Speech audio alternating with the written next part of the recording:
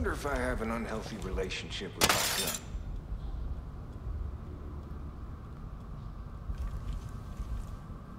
Nice to see you, man.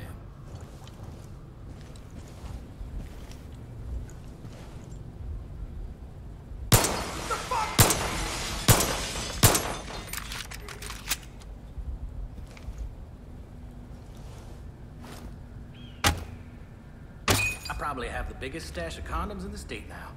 Even diehards forget them.